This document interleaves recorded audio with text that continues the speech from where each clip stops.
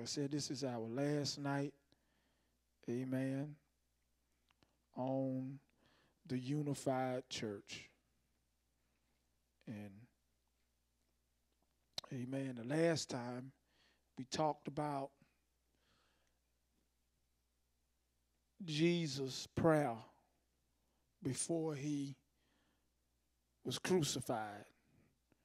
We talked about the power of being one. Amen.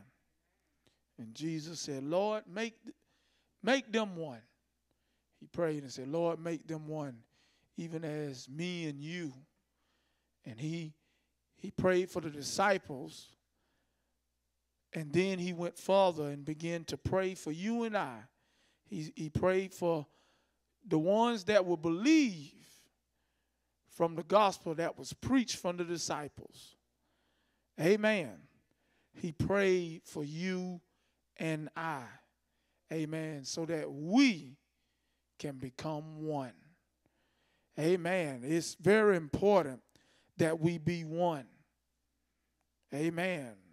When you be one, amen, a unified force, the devil can't pull you apart. Amen. And so we're going to we're going to go back into unity. This time we're going to go into the Old Testament. We're going to be coming from Psalms, very familiar scripture. Amen. Psalms 133. And we're just going to get this these few verses, verse 1 to verse 3. Amen. Psalms 133, verse 1. Amen. I tell you, this this has been a great Bible study session. Amen. On the unified church. We covered so much in this segment that we understand that not only God wants us to be unified, but he also speaking to the whole body of Christ. Amen. When we say the body of Christ, we're talking about believers all over the world. We need to be unified. Amen. We need to understand that you got brothers and sisters all over this world. Amen. And when you come in contact with a believer, amen, there should be unity. If you believe in the same God, same Lord, same faith, there should be unity. Amen. And so it's time for the body of Christ all over not to be in competition, not to be social distancing in the faith. We need to support and back one another. Amen. This is the will of the Father. This is the will of Jesus. We found out last week he prayed this. He prayed this before he was crucified. So you know Jesus want us to be in unity. Amen. Amen. But tonight we're going to go into Psalms 133, verse 1. And this is our brother David. Amen. That wrote this psalm. Amen. We know that David was a prophet priest, and king. Amen. And David was a great lyricist. Amen. He he wrote from his heart, but he wrote through the Spirit of God. Amen. Uh, many of his his uh, psalms, not only they were songs, but they were prayers. Amen. David wrote it down. And let's go into this particular psalm and let's break down these lyrics. Amen. so that we can get a deeper understanding. Amen. This is David. Behold, how good and how pleasant it is for brethren to dwell together in what? Unity. Now, verse 2, I just want to let you see that here now, he's going to get lyrical. He's about to compare something. He's going to use a, a metaphor describing the statement, what he just made. The first statement he made was, Behold, meaning, look how good and how pleasant it is for brethren to dwell together in unity. Pause, because here come a metaphor. Here comes something to describe how good and pleasant for brethren to dwell together. Here it is. It is like comparing. You see that, right? It is like the precious ointment upon the head that ran down upon the beard, even Aaron's beard, that went down to the skirts of his garments. I want to stop right there because this right here is the meat. This metaphor here, this is so deep that David compared it to an event that happened and he wasn't even born yet. Are y'all following me? David was not around when Aaron, the brother of Moses, the first high priest of Israel, David was not there. But he wrote it as if, he was there because he wrote it in the Spirit and he had a revelation of what unity is. And I'm going to tell you what it is. Maybe you never heard it like this before. He compared it to an anointing and an installment of Aaron.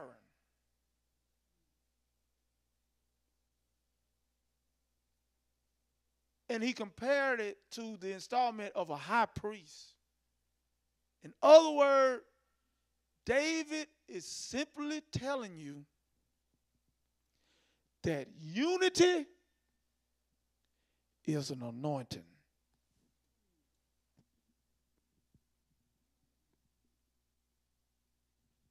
Unity is an anointing. Aaron was anointed and chosen and called. And then he was a high priest. So it wasn't no little, like little Dibby. The high priest. Hallelujah. It is like the precious ointment and the, the ointment that is used in those times, because the, the, the, the, ointment represents the anointing, but the, the, the ointment was a sweet smelling ointment. It was a sweet smelling aroma that they used to anoint the high priest. Oh, hallelujah. So it was so so in other words, the the unity, amen, is an anointing that's taking place, and it's a sweet odor. It's, it's, it's, it, it smells good. It's pleasant. Oh, y'all follow me? Amen. He compared unity between the brethren, the church, the people of God, as a precious ointment that anointed the head of Aaron. So, we know how the anointing flows. It flows from the head. Amen. In other words, from the head, the head must first have a spirit of love for the people. Amen. Love for the people. It starts from the head. This, this, this, this, this, this movement starts from the head. It flows. Amen. You can't have unity without love. Amen. You cannot have unity without love. Now, it flowed from the head, but it didn't stop there. So when it flows from the head, it ran down. It ran down. So when it ran down, that means then from the head, then it goes to the next level. Then it flows to the next level. It don't just stop. This anointing this anointing don't just stop at the head. So that's why we got to change our mentality when it come down to the unity. We cannot just focus that it starts with the leader and it ends with the leader. Stop it. It don't go like that. Because you're stopping the flow of God. What the leader is putting out must continue to you and to others. It must be contagious. Whatever God give him, amen, it don't stop with him. You must get it and regurgitate it and pass it on. Even when it relates to just the word of God. When God give him the word, it is not just for him. He must give it to his people. But this is talking. This is talking about what? Brethren dwelling together in what? So unity starts from the head and it flows down to the tail. Unified church. Love. Amen. Love. The head receives the love, he gives it to you, and you let it flow. Amen. Because it talks about that it ran down upon the head that ran down down from the head to his beard from the head then it went to his beard amen all on his face. It, it, it, went, it went down. But it didn't stop there. It didn't stop just on the face. Amen. It went down to the skirts. Now, first of all, I wish I had a diagram, but I want to let you know that the high priest had on a lot of clothes. He had on a lot of clothes, a lot of garments. So I want you to picture in your mind this man with a lot of clothes and garments being anointed, and the anointing flowed from his head down to his face, down to his skirts of his garments, so that all flowed on his clothing. on his clothing, even down to the skirts. It didn't stop. It didn't stop. Everybody receives what God is pouring out. In this love, in this, in this unity, when we are unified and we're, we're dwelling together in the spirit of love, the blessings and the anointing and the ointment and the smell, all of those ingredients, you're going to get it too. It flows. It flows. It didn't just stop at the head part of the church. Do y'all understand that? That unity just don't stop with the head part of the church. It flows to every department. And I'm going to show you something too. Like I said, it don't just stop in EFVM. It flows to every part of the body. Amen. We need to do some more connecting. Now I understand. I'm gonna say this here, and I'm not ashamed to say it. If you say you're a believer, and, and, and you got other believers, and you don't want to to fellowship and love, something wrong with you. Something wrong with you. Now I understand that there are some people you can't fellowship. What's something wrong with that? Because it's somewhere somebody don't have the right love. Or y'all don't want to go with me. Amen. Amen. We supposed to be the body. Like I told y'all the other week, your body, your body itself do not have competition against the other body parts. Because if it did, you would be messed up. Your heart and your brain work together. Oh, hallelujah. Amen. And so now, this anointing this flowing, the way it's moving, it's moving down. And it, and it don't discriminate. It ain't, it ain't resting. It ain't stop. It, it just keep flowing. It keep flowing. Amen. Oh, hallelujah.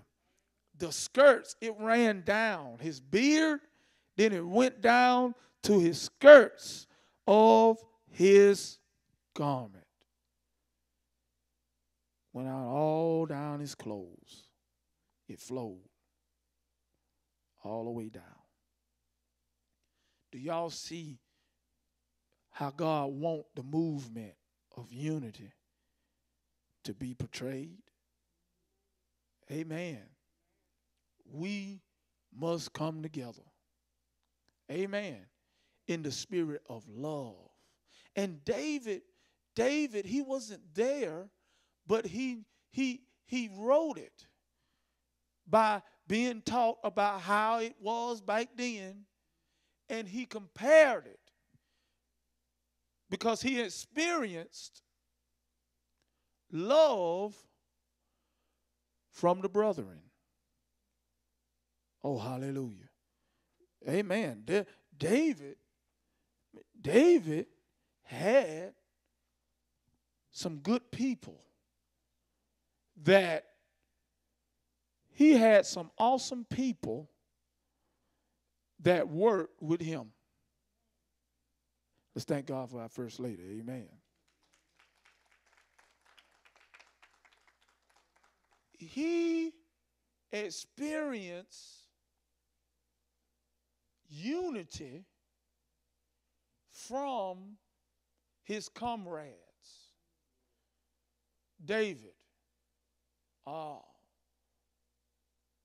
our brother David had many different accounts where he could testify and show you how it was so awesome to work with a group of people that didn't fight against him, that fought for him. We know that David also was a great warrior. So I'm going to give you an account. The reason why he would write something like this. There was one account where David, amen, he, he was outside of the walls of Jerusalem. He was outside the city. And at the time, the Philistines was encamped around the city. And he was about to faint. He desired a glass of water on the inside of the city. He just desired a glass of water. He was just talking, man, I wish I could get a glass of water from that well. The brothers that was with him heard his desire. They loved David so much that they took his thought, his desire, and made a reality. David didn't have to say, hey, go do this, go do that. They just heard him say, I wish I could get some water from the well. Now, let me, let, let, let me go show you, though, the love that they had for him. They had to go through the enemy camp. They had to fight. So they went in fighting. So these guys had to be some ninjas, man. I'm talking about these guys was really, really, really, really could get down. Amen. We're coming from Psalms 133 and verse 1. So these guys went in, fought their way into the city, got the glass of water, and fought their way back out the city and brought it to David. This is why David wrote this because he experienced unity. Now, let me show you something. Now, keep in mind, David was about to faint and he desired he desired some water when they brought it to david and david knew what they did to get it david said you did this for me i didn't i didn't tell you to do it i was just talking i was just talking what i wished and you made it a reality. To the point he said, I can't even drink it. He said, This here is just too sacred. He pulled it out as an offering. And check this out now. He was about to faint. But you want to know what made him strong? the unity of the brothers. Them on said, man, I, you know what? Come on, let's go fight. Let's do it. Let's do it. He got strength from knowing he had people that had his back.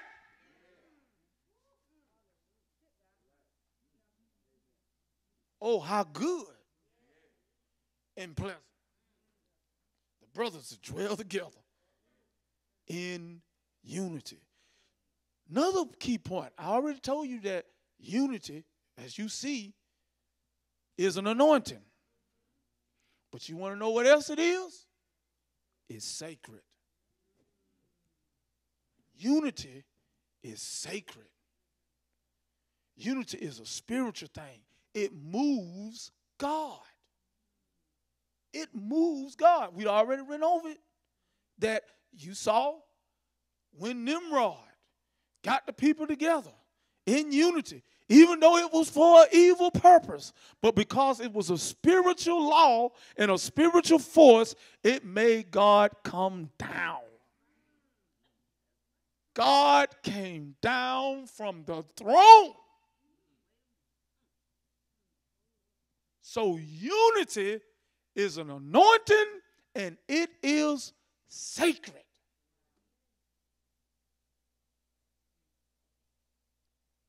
Unity is sacred. Hallelujah. And it flowed He described it as an anointing.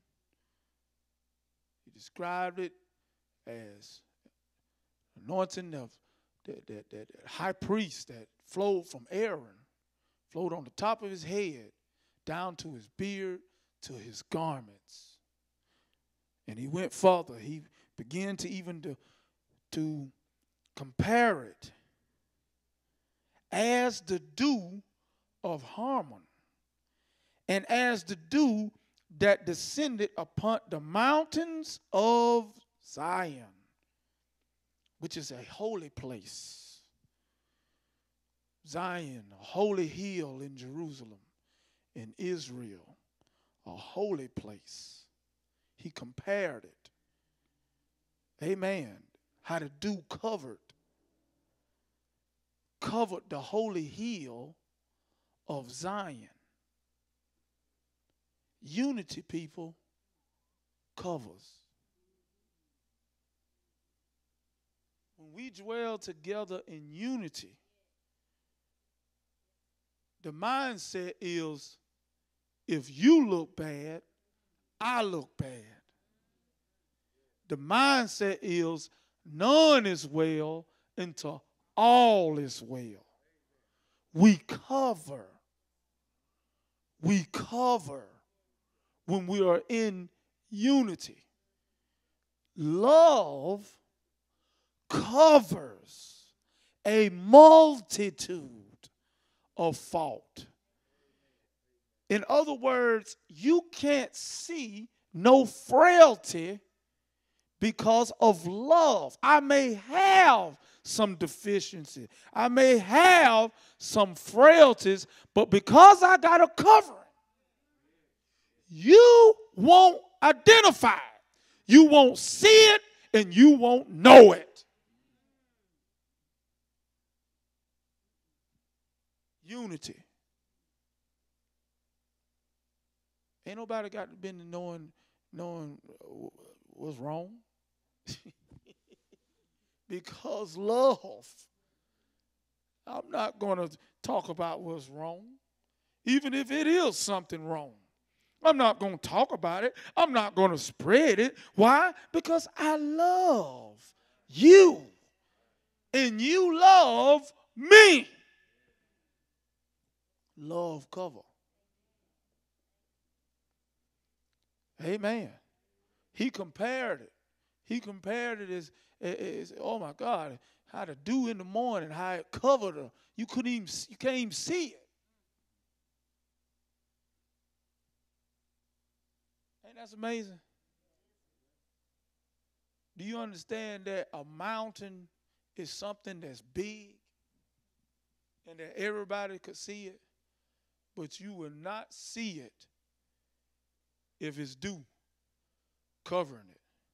I know what I'm talking about now. I mean, Lord, we, we, we understand what happened to Kobe Bryant. We don't, I don't uh, make a mockery off of his death. But the reason why he died is because the man that flew the helicopter, he couldn't see that hill. Am I right or wrong? And what was covering it? Dew. Something that's so big that could stand out you won't be able to see it because love covered it. That's what David is talking about. David understand that.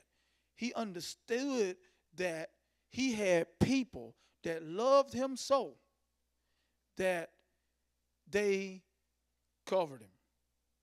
I'm going to give you another account of David. You can go and read scriptures. The Bible shows us David had went into battle.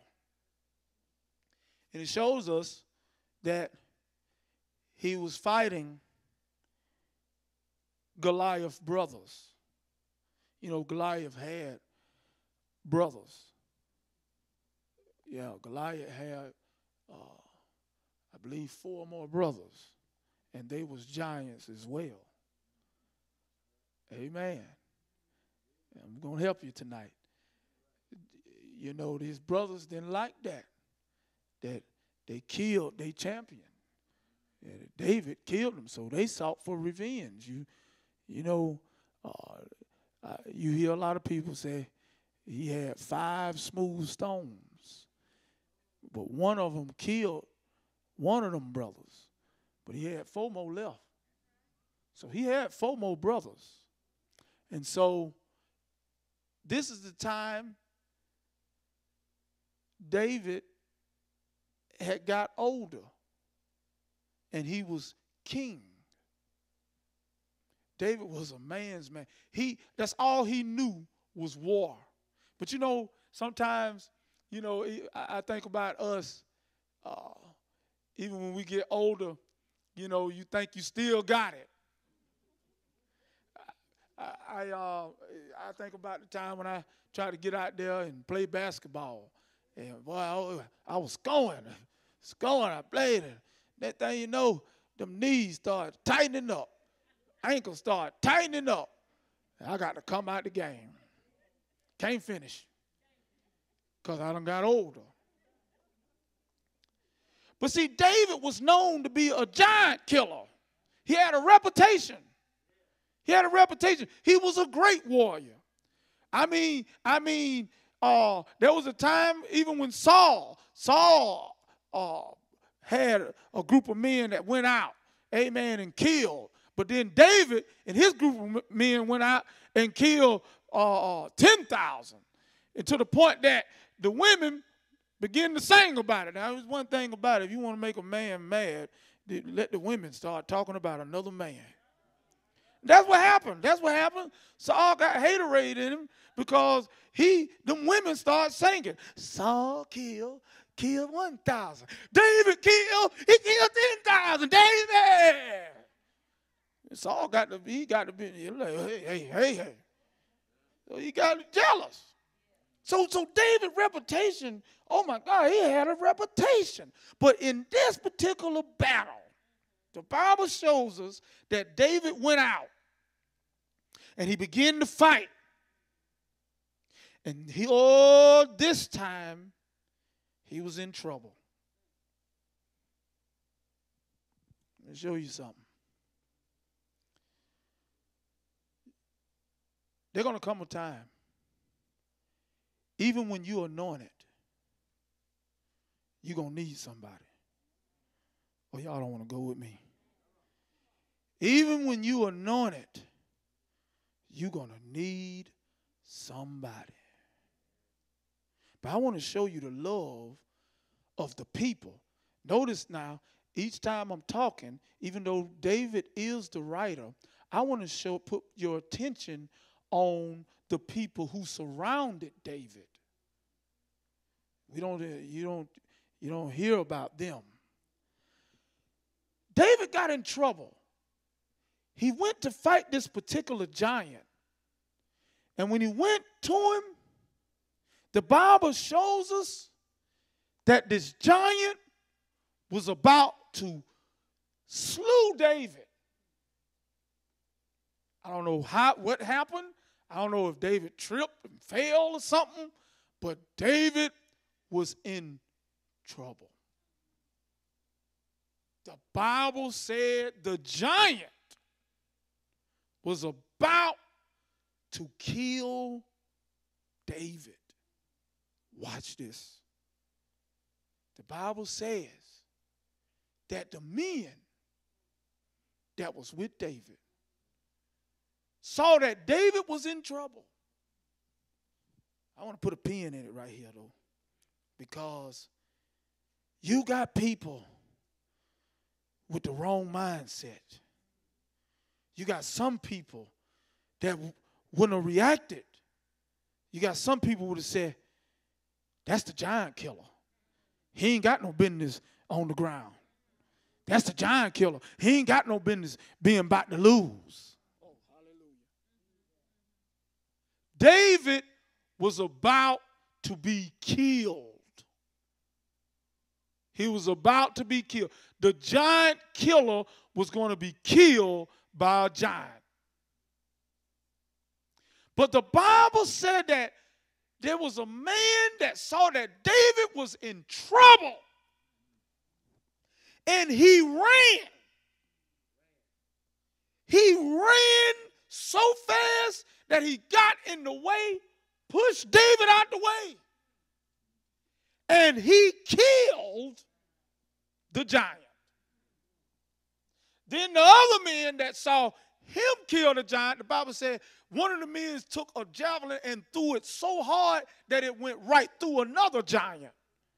What I'm showing you that the men that was with David took care of business. Killed all them giants. But watch this.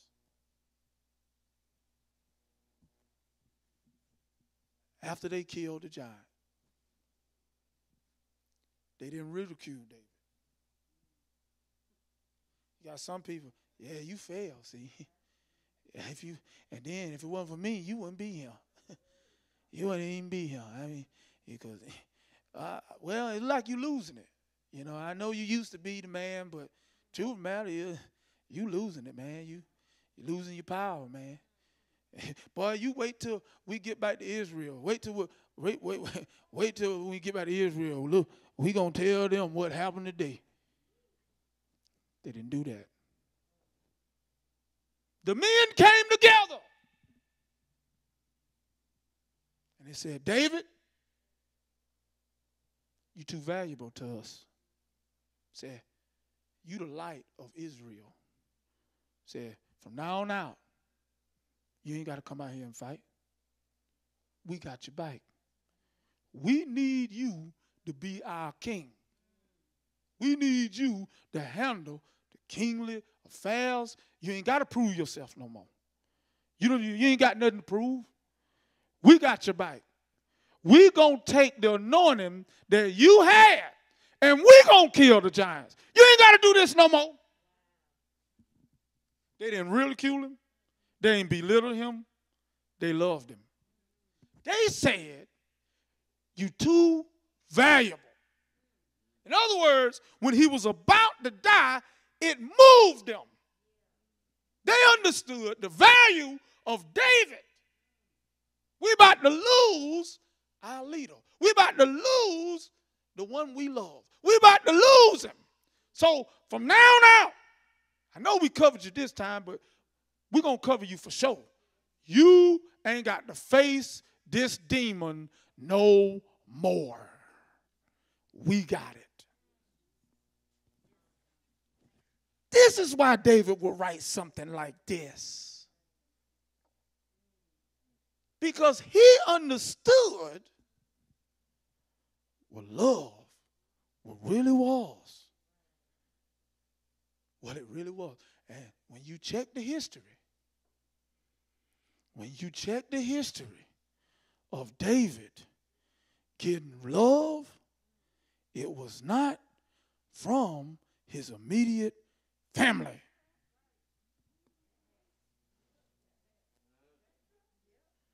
He did not experience true love from his immediate family. It was people he never knew.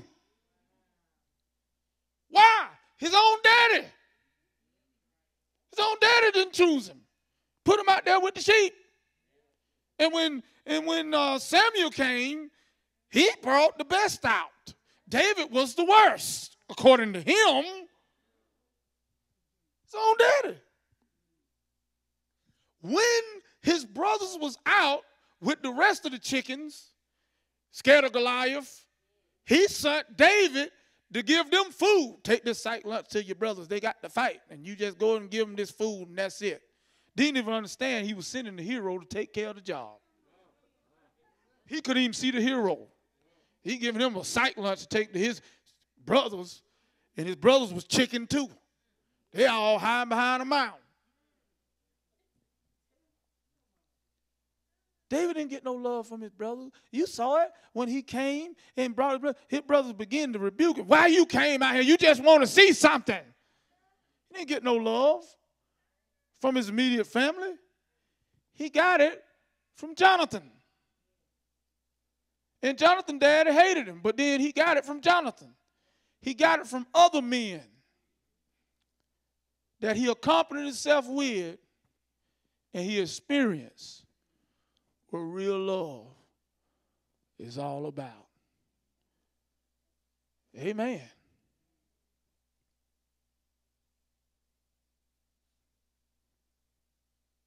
It ain't about who you know. It's who you with. Right, well, that's a quote. That's a, that right that's, that's a bad quote. Don't steal it. Uh, it's recorded. It's recorded right now. So if anybody try to take it, you get it from me. I'm gonna get you. It ain't about who you know. It's who you with. Amen. David grew up with his brothers, but he experienced true love from the brethren that was with him. So that's why when he wrote this song, this, this he was a lyricist. He wrote it from his heart. He wrote down experiences. So when he wrote that down, it was a passion. Amen. Amen. Most lyricists, amen, when they write, it's coming from their heart.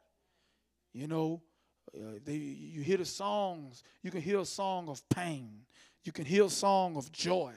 But in this, we hear the song of unity from brothers that's willing to give their life for each other. Amen.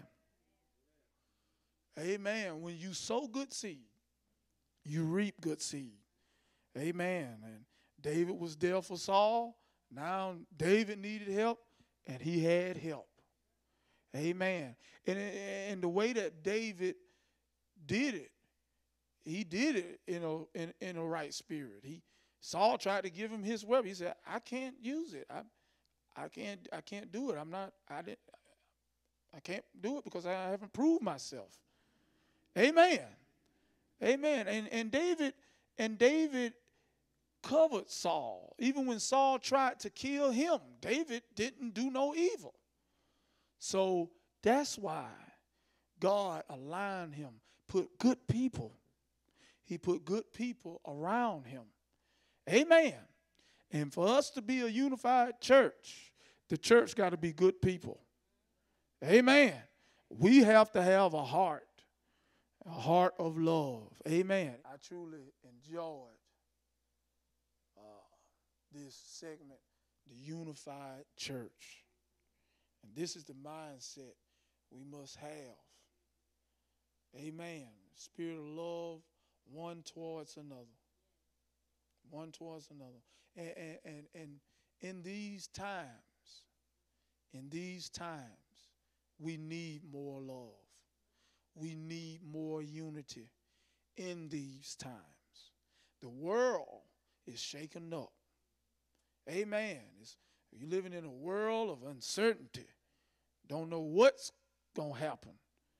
But then again, we, the people of God, it's time for us to rise. Amen. And we got to rise in love. People need to understand that this is the house where love is Lord. Amen. Amen. This, this church has the antidote. Amen. We have the antidote. And when you have something that can help people and change their state for better, it's like you got to tell it. You have to share it. You see the need. Amen. You understand people need to be here. Amen. Amen. You you you it, it will help you to be an effective witness when you have that conviction on the inside of you. Amen. So let us practice that. Let us begin to love one another to is contagious. So when you go, when you go witnessing, you're not just witnessing as a false witness. You're witnessing with the experience of knowing where you receive Christ. Good God Almighty. They can receive Christ. Where you receive healing, they can receive healing. Where you've been delivered, they can be delivered. You would come with that conviction because you experienced it.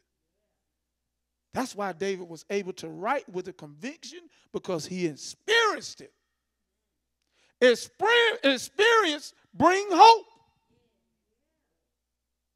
That's what the Bible says. Amen. When you experience something, you got something to say. Amen. Oh, you need to come to EFVM. Why? Man, shoot. Just like I told y'all, I gave y'all my witness. When I told you how, how this church allowed me to bloom into the man of God that I am. When they sent me cross seas. I experienced that. But it was because of what? This church. Amen. Can't nobody tell me about my own church. And so when I defend it, I'm defending it, amen, because I am the church. Amen. I'm not going to let you, amen, try to paint an ugly picture of me. Notice what I said. I didn't say of EFM. I said, I'm not going to let you paint an ugly picture of me. When I look in the mirror, I think I look good. So, so, so, so now, you ain't going to tell me I'm ugly. And I ain't going to believe it either. And that's how I feel about this church. This church is me. It's me. It's me. This is me. Amen. Hallelujah. And that's the conviction. Amen. That you need to have. Don't walk around with your head down. Amen. You hold your head up. Amen. The reason why I'm teaching tonight is because what I learned right here. Amen. What you getting is EFVM. Amen. Hallelujah. I represent EFVM. I am EFVM. If you enjoying this Bible study, you enjoying EFVM. You enjoying the teachings. You enjoying the substance that have been poured out for many years. Hallelujah. Thank you, Jesus. Right now, we're going to get prayer. Amen. Spirit of God is already here. Hallelujah. Thank you, Jesus.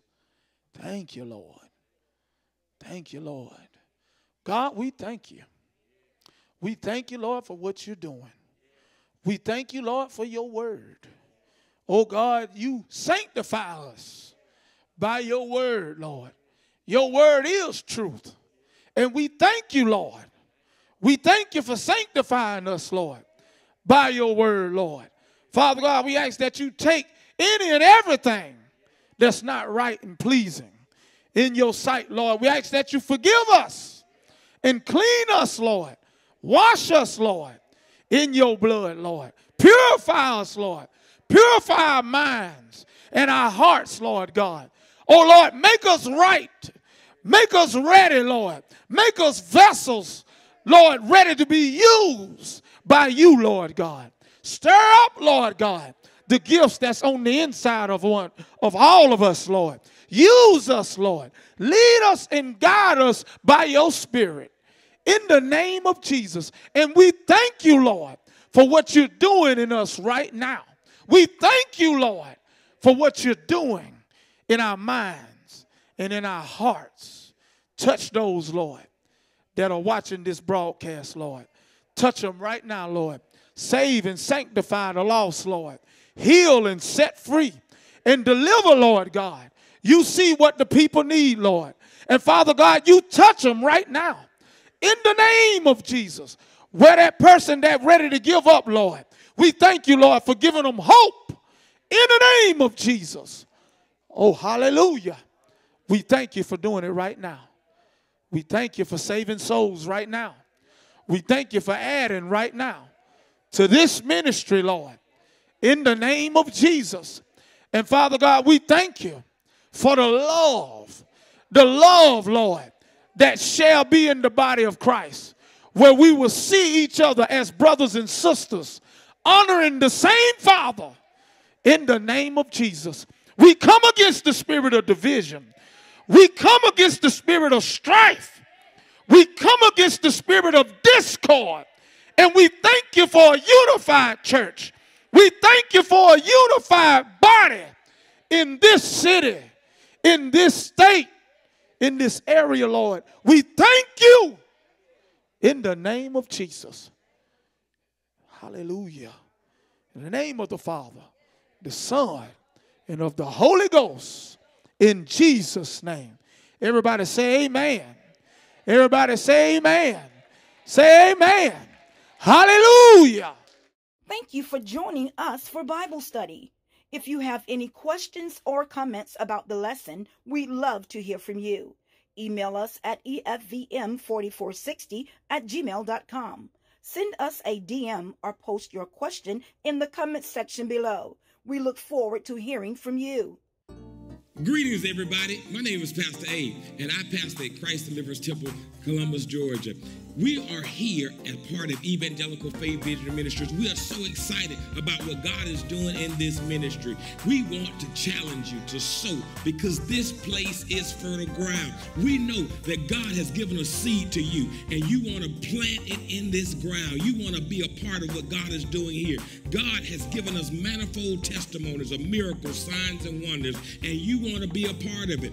We want to challenge you to name your seed, claim what God is doing. Speak and declare and decree that God is getting ready to give a supernatural increase just because of your seed. So we want you to click the link at the bottom. There's a link down there.